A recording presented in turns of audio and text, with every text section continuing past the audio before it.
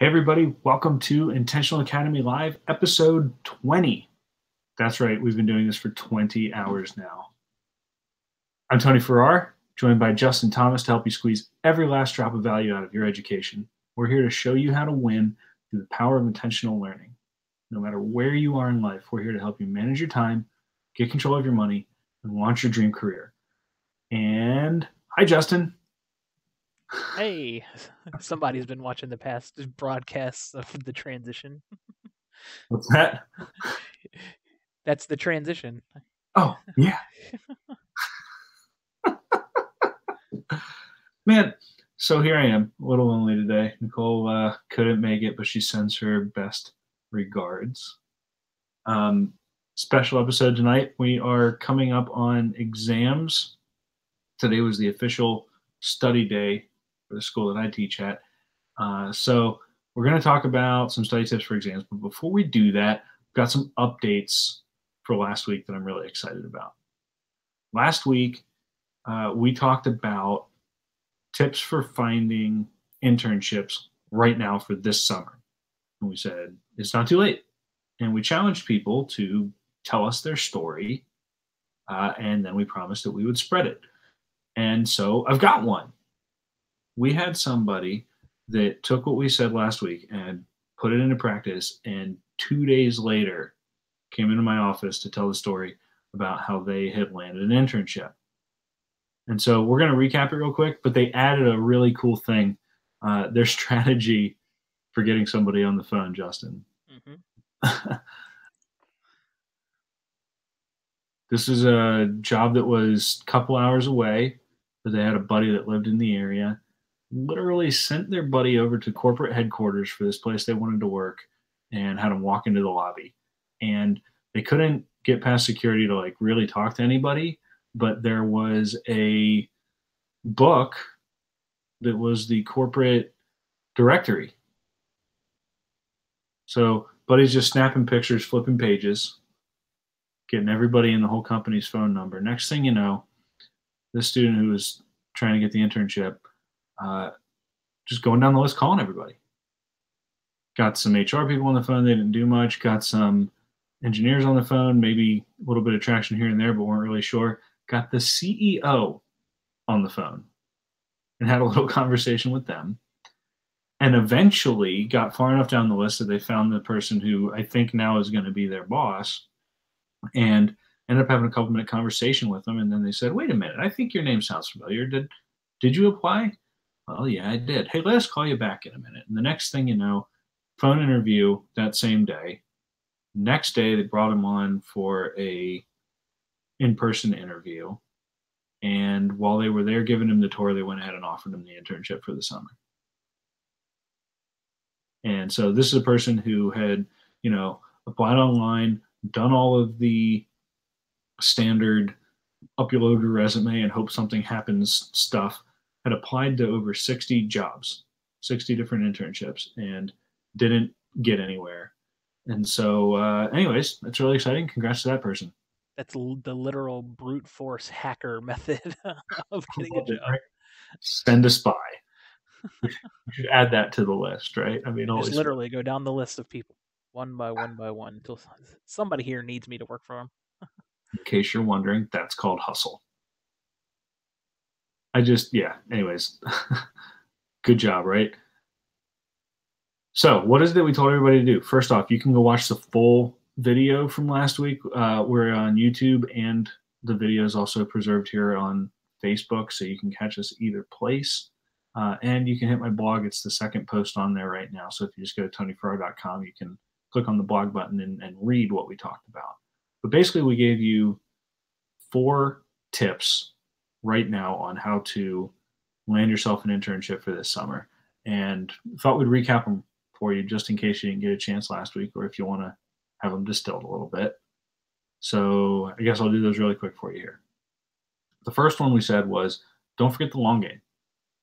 I know you're in a hurry, but the most important thing you can do is focus on building your network. The world is filled with people who love to upload online applications, but what you really need as evidenced by the person who just landed this job, is to talk to a human being and start forming a relationship. And so we talked about a tactic that I use on LinkedIn for that, where we um, help you find people to connect to and um, expand your network very quickly. Jump into conversations. Your goal there is to get yourself to be known as a member of this community already. And it turns out it's not very hard to do. So spend a little time every day building your network. The second thing we talked about was to stop going after all these big names where you're in the most conspe- competitive space possible. And instead, go fishing where the fish are. Apply to all the places that nobody's heard of that are just dying to fill their internship slots. It turns out you're more likely to end up at a small company, 550, 500 employees, where you will find uh, lots of opportunity to actually do the thing that you're trying to intern in. Yep, be important quicker. Yes. People in these places tend to wear lots of hats, and so you'll see a variety of roles. Get your ch- get a chance to really get your hands dirty doing something important. One of the little hacks that we had for that was to start searching for subcontractors, uh, especially government grants, things like that. They're posted, they're public, but these are uh, really short, uh, really uh, mostly small companies that nobody's heard of, but are doing really interesting work.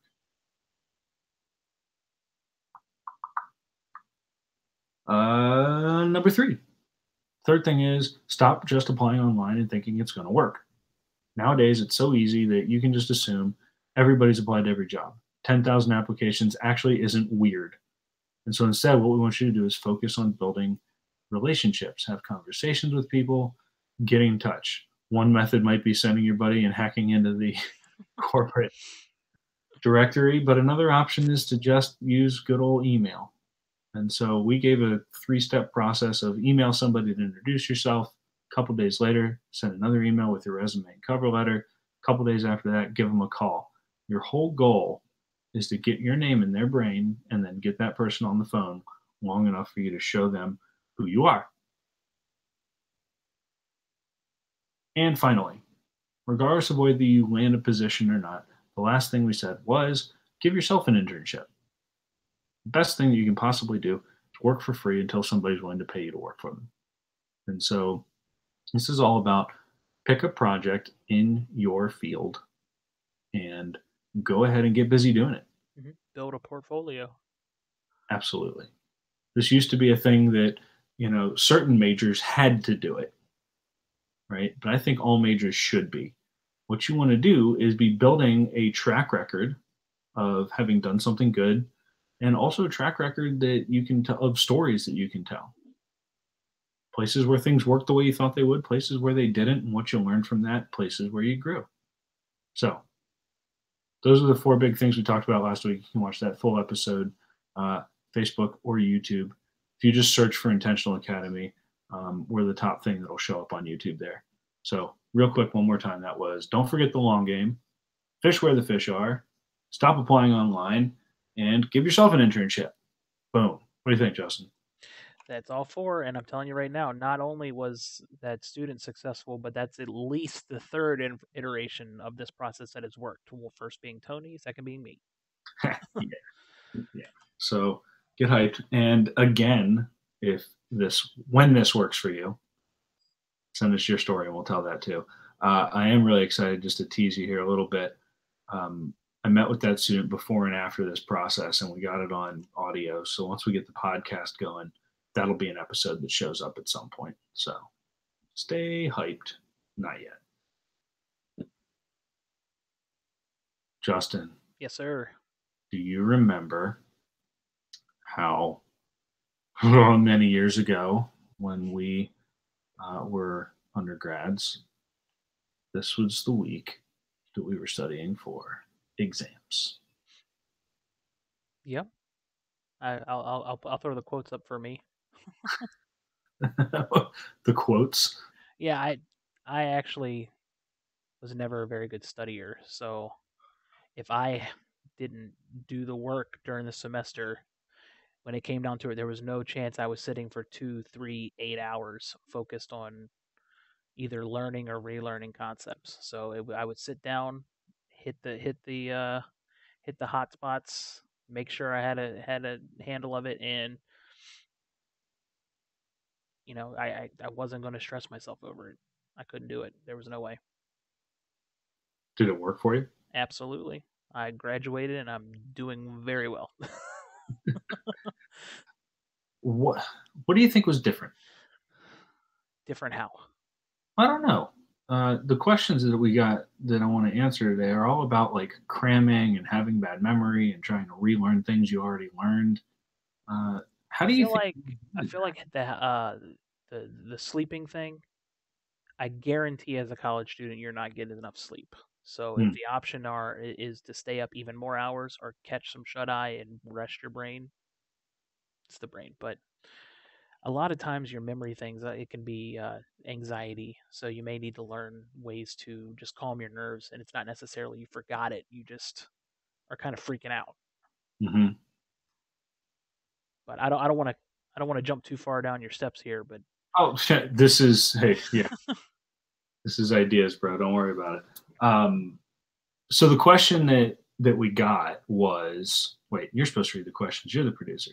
All right well should i stay up late studying or sleep and get well rested how about that Justin says, don't stay up late. Get some sleep.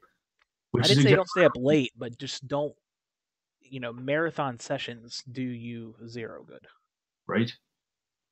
I think that what's really happening is that most people call studying, uh, most people call learning studying. They're not actually studying when they're getting ready for tests. They're learning material for the first time because when they had the homework assignment or whatever it is they were working on, they were, uh, you know, busy, distracted, just trying to get it done, turn it in so you could move on and go on to the next more interesting thing. using and the so solution manual to make sure you got 100 on the homework been there.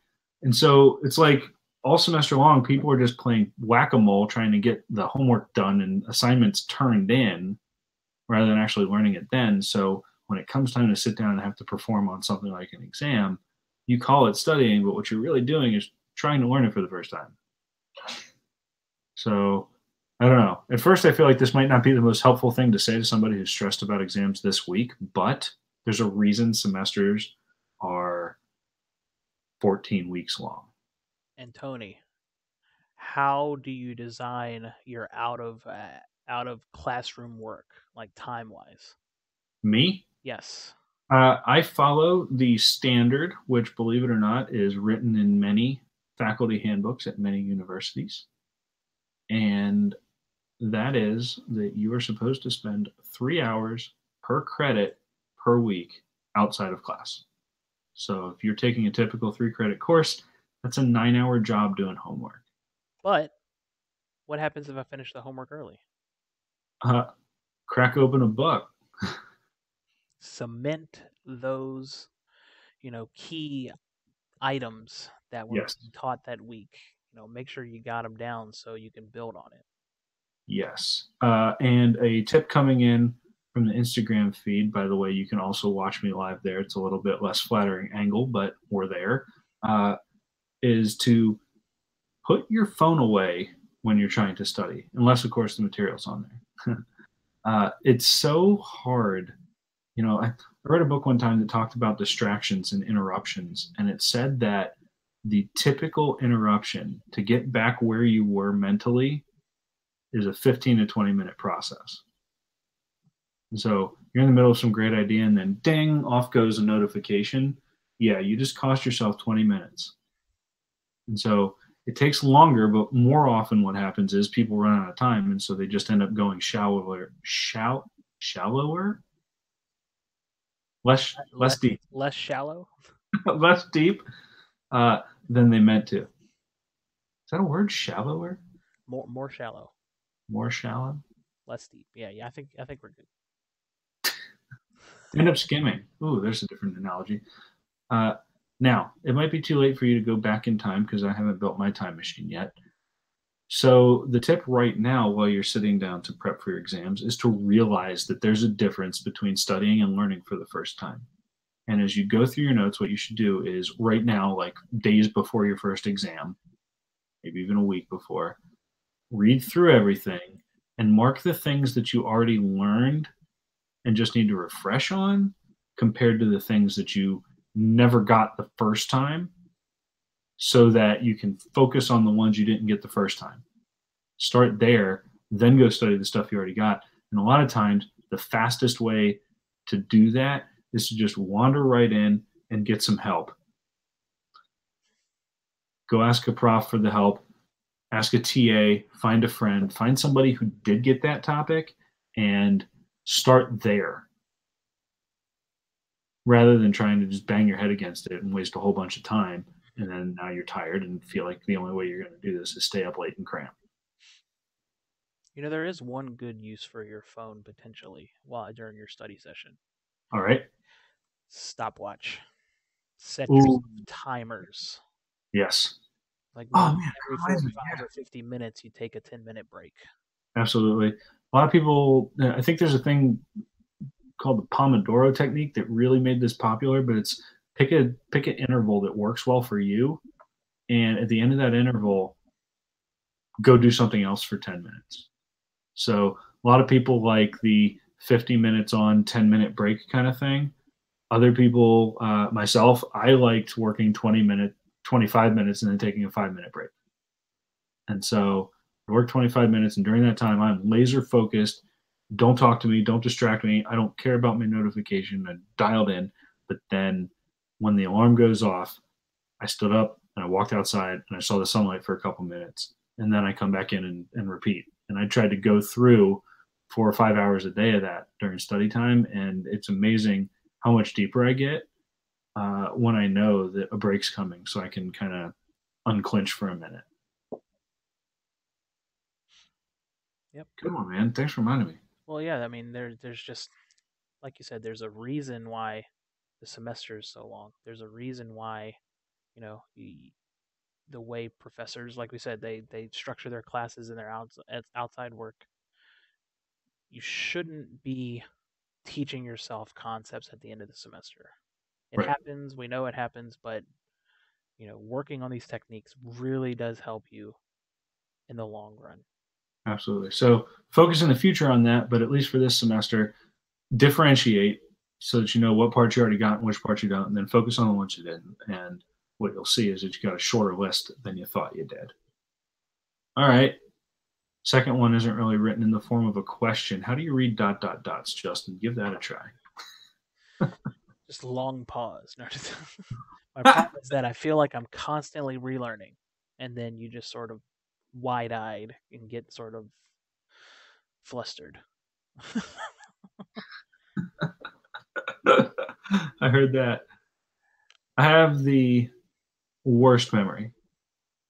And so, kind of tying into the last one a little bit, a lot of times I will forget things and then I feel like I'm relearning them.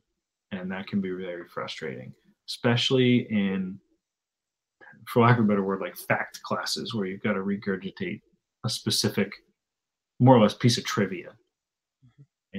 I don't know what it is, by the way, dude. I'm like really great at trivia up to a certain point, but if it was something I learned in class, it's just in one ear and out the other.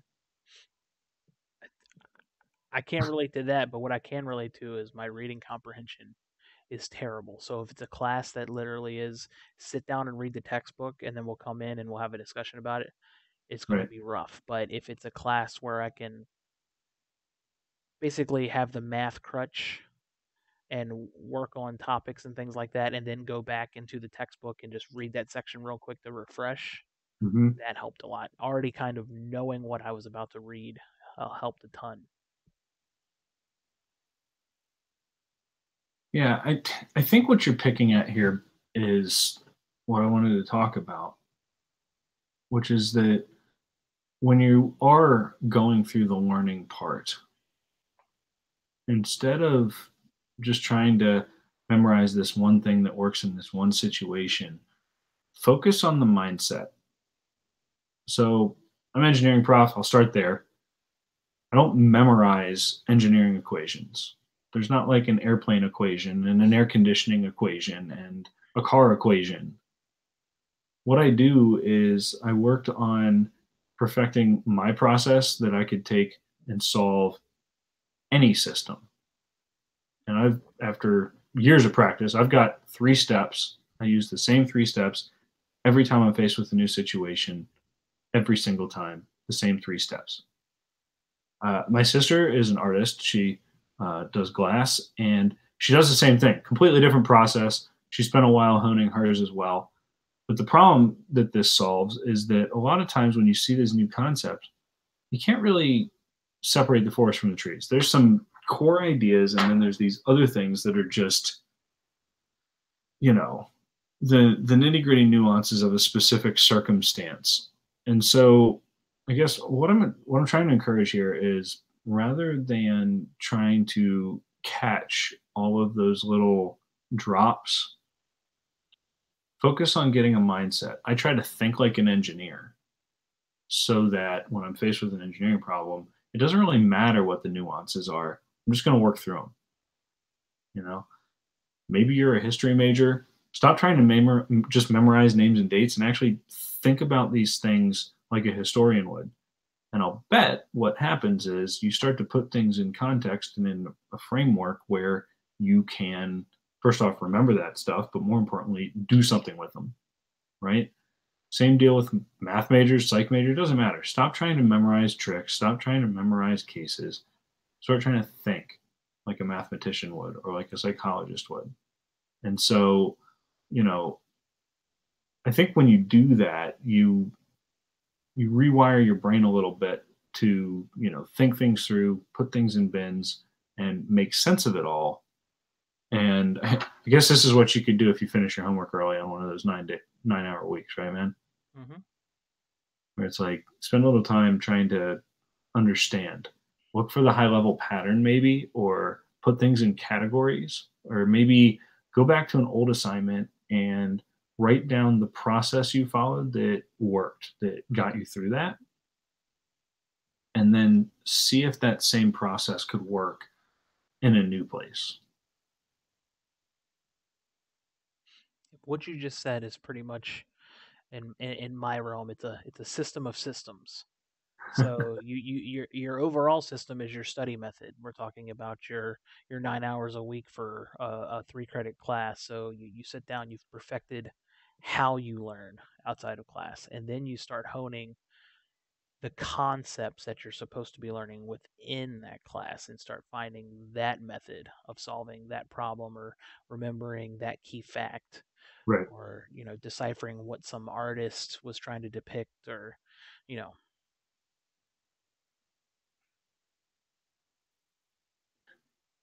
Do you feel like that takes longer? I feel like you you it, it any just like anything you have to have an initial investment. So in the beginning it's going to be completely different. It's going to be something that more than likely you've never done before. It's going to be a, a complete attitude adjustment, like dieting or uh, you know quitting quitting some bad habit or things like that. It's going to take ex- extreme dedication, and then it's just going to feel like the norm. You know, eventually mm. you're just going to just do it, and you're not even going to realize you're doing it. So, yeah, yeah, I think that's probably a really good way to put it. You know, once you adopt a new mindset, it becomes so easy to think about from that frame that, uh, you know, amazing things are happening. Like you actually do remember the nuanced details, right? You've, and so it, it's weird because I actually do know which equation I would use if I ran into an air conditioner right now, but it's not because I sat down and practiced air conditioners for seven years. But now that things make sense in my mind, I can see a little bit of a difference from one to the other, and I know what I need to do there. So before we started talking about this, I mentioned, you know, anxiety and how that could affect your memory. Mm-hmm. The the what we're talking about is literally ways of pulling nodes of stress out of your life. And so, mm. the more stress you can remove out of your life, the easier things will be to remember, the easier it will be for you to get your work done. Um, anything you can do to remove chaos and get and gain structure is going to help you in the long run.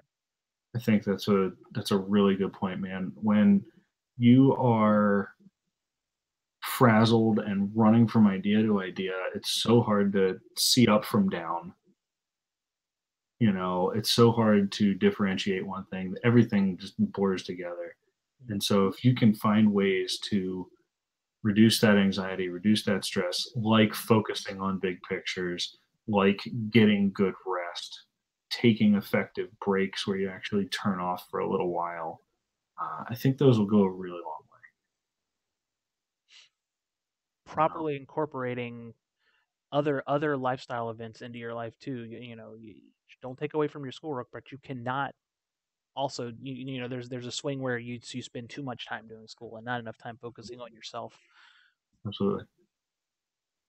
Absolutely, man. And and and that's, you know, one of the things for me, especially in grad school where things got super stressful, I had to find a activity that was so engaging that I couldn't think about something else while I was doing it. Right? For me that was rock climbing, but what it what it is is there's so much going on when you're doing something like that or playing a sport with your friends or whatever it is that you can't think about all that other stuff. And for me, that was really therapeutic because it gave an opportunity to shut down for a little bit. And then, strangely enough, when I went back to the material that was giving me a hard time, uh, I had so much more clarity that I was able to figure it out in much less time. And so, as weird as it sounds, I think even even during big study phases like exams and things like that, uh, I think you still need to go have some fun. A lot go of universities are realizing the utility in that too. I believe, I think I saw Virginia Tech last year had like uh, uh, uh, you go you could go to the uh, student center and they had dogs and you could just go play yeah. with dogs. Like if you didn't have a dog, you just go like play with puppies at the student center yep. During yep. during uh, exam week. oh yeah, and if they won't bring them to you, you could always go to a pet store. Just don't come home with one. yeah, or play a sport or um, see a good movie. For me, I just I spent so much time in my room in my apartment studying that it was literally if I wasn't in my room, and a lot of times not in my apartment, just go across the street to a buddy's place, just not be where I equated, you know, learning. Yep. And so if you've got that space, that's definitely a place to step out of. That's why for me, I had to get to a point where I just stopped doing homework at home.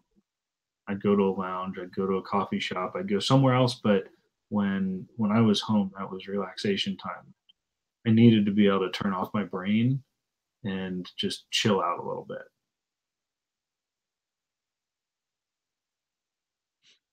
Exactly. I don't think I have anything else to add to that. right? Just mellow out. Everything's going to be okay.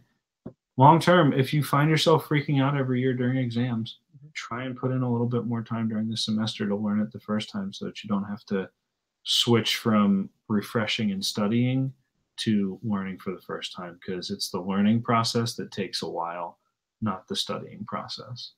Oh, that's what I was going to ask you, Tony. There, there's one thing that we've talked about before, and it's GPA not being the the be all and the end all. And I don't know if you can tell us but you gave the the the story of that student. You know, is yeah. he like is he the 4.0 greatest student you've ever had in your life, or is he more of a you know he gets it done, but you know it's might not be might uh, three three two. Part part uh, option B there definitely the he was uh, right around the 3.0 mark. There you go. Yep. So, but I think he really doubled down on what we talked about about focusing on the connection, focusing on forming a relationship. And what happens when you apply a little hustle is that people want to talk to you, mm-hmm. want to know more about you, and suddenly you become really interesting. and by the way, little it's okay. Go ahead.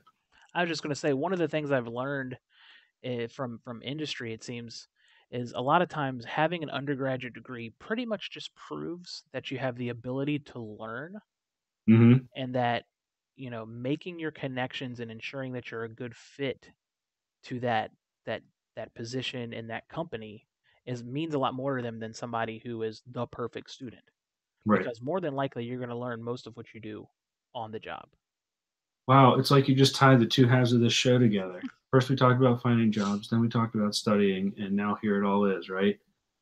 Perfect that process of learning how to learn. And it makes you not only do well at your exams, but also really hireable. you plan that? No, but I'm just, you know, you spend 70 hours stuck in your room to get a, a 3 7 or you've gone out and you've made personal connections and you've got volunteering at the shelter the the animal mm-hmm. shelter and you've got you know involvement in your community and you got like a 3-2 you know like you sacrifice a little time studying to better yourself and better your your community and now you just you're an overall better person. Right. And you just look you're just more hireable. I don't know this yeah. You gotta be careful there because there are still the the places that filter a little differently, right? And you know, if you're looking at grad school, some of those places they're gonna they're gonna evaluate you differently. Well, you're so a professional. talking about a very specific place that you can go here that looks like, um, you know, looks like a place that is responsive to a person who's who's doing this. Well, grad school is a little different because at that point you're trying to prove to, that you want to be a professional student. Right. So you might want to look like a really good student. Which, by the way, brings us all together that, you know, as we work, man, we've been doing this a little while now, like a year, a year and a half, two years of Intentional Academy. And we're constantly trying to clarify what it is exactly that we do. And I think the new, clearest way I can say it is that we're helping students build their personal brand. And if that sounds like something you've never heard of before, let me unpack it for you really quick. What we do is we help you develop a persona that is authentic to you, that you can show uh, and become a part of the community, especially the professional community that you really want to be a part of. And so if you want to be a grad student, then this is the persona of a grad student. And if you want to be an engineer or a um, you know a historian or whatever your field is what we're talking about is how you can portray yourself and then how you can use the things that we're doing with time and, and all of that. What that really is doing is helping you focus on the right things to become the person that you want to be. Because one of one of the most important concepts i think that we could relate here is you're not static. I'm a different person than I was 10 years ago, and certainly a different person than I was 20 years ago. And while a lot of my values are the same, uh, a lot of what I think and a lot of my approach to life has changed. And one of the things that I'm really happy about is that I kind of looked ahead and saw people right? Maybe an easy way to say is just role models, people you look up to. And said, I want to be somewhat like that. How can I become that? And the answer is studying certain things, reading certain things, maybe focusing your attention on uh, some ideas more than others. And, anyways, that was a long spiel. but I guess what I'm trying to say is the reason that this trick, I guess, if you want to call it, for landing internships works. The reason the stuff that we're talking about works is that we help people figure out how to be themselves, find places that want people like them, and then actually connect them in a way that they get noticed. How about that? Yeah, that's that's that's pretty much what it is. You know how long it took us to kind of circle the wagons. Crazy. It's crazy. So stay tuned because I guess that means we're going to finally be able to start clarifying um, some of the things that we're putting together. And the point here is to help you build that brand and show people who who you are, right? Circling back a little bit to something we talked about last week, I think that people when you find yourself kind of desperate and chasing after an internship or chasing after that job that you think you want, um, you're trying so hard to make that sale that you just want to portray yourself as the right person for the job, the fit, rather than trying to find a place you actually do fit. And I think a lot of people take a rejection or some, you know, them choosing not to hire them as a failure rather than as a measurement that this is a place I don't fit. I don't think I want to go there. Or if you really do want to be there, then you know what you need to adjust to become that fit.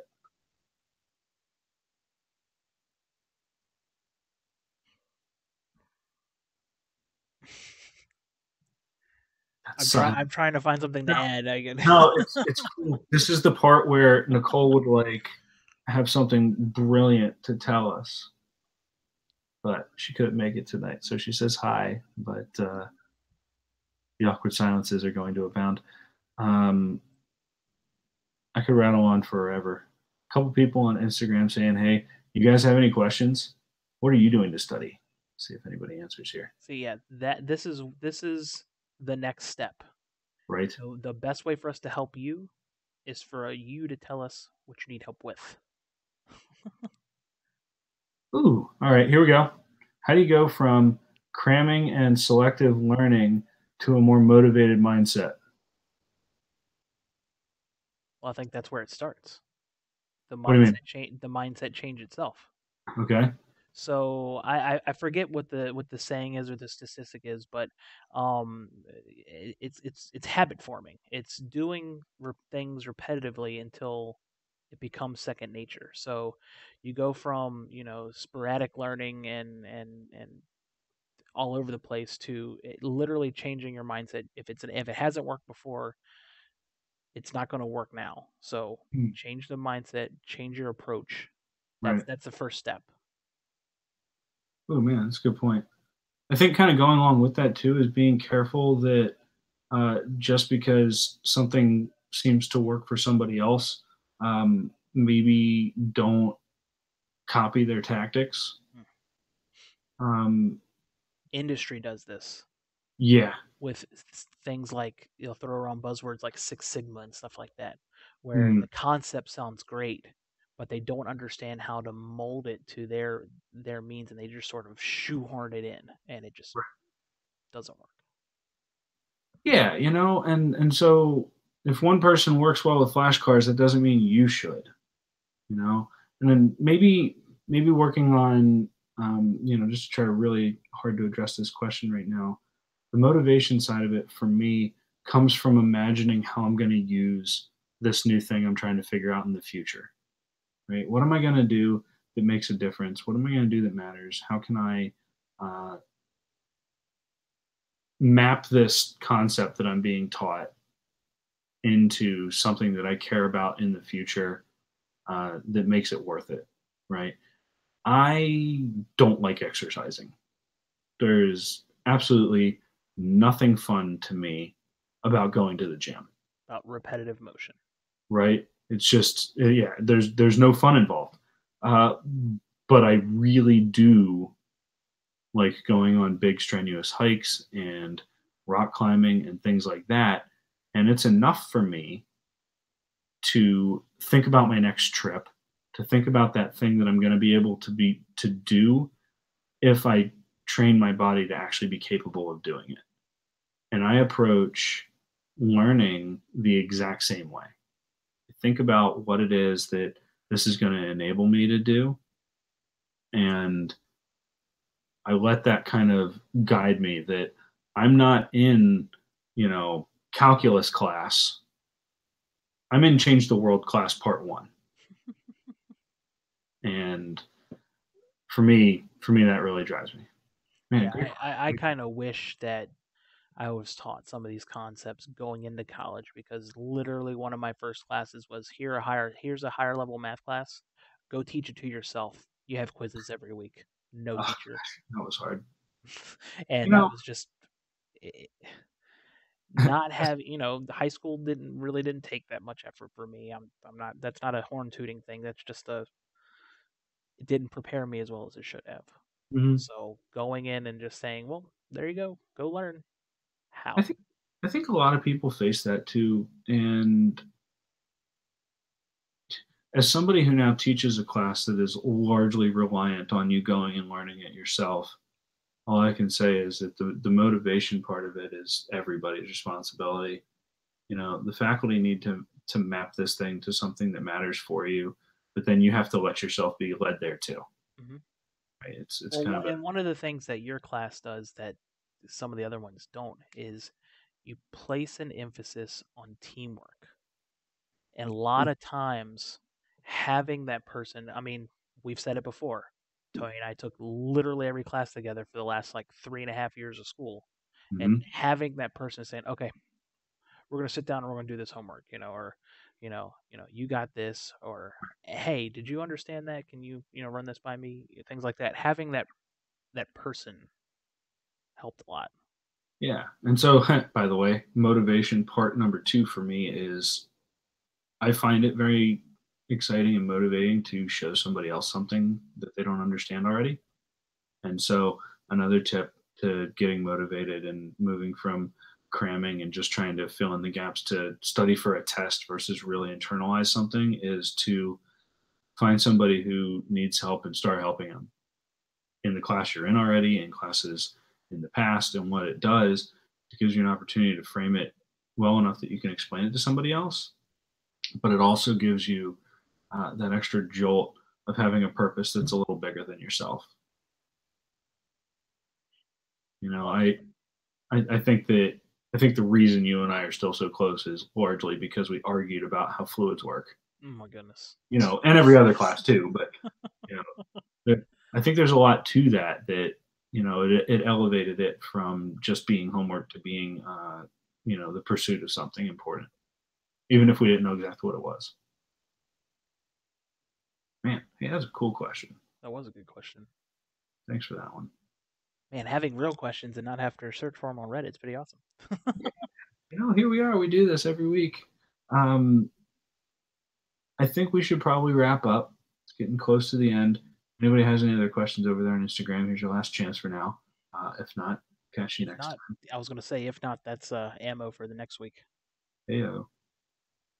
Yeah, so when we check in next week, uh, we will be days away from graduation and right in the thick of exams. So we'll try and provide a little bit of relief there.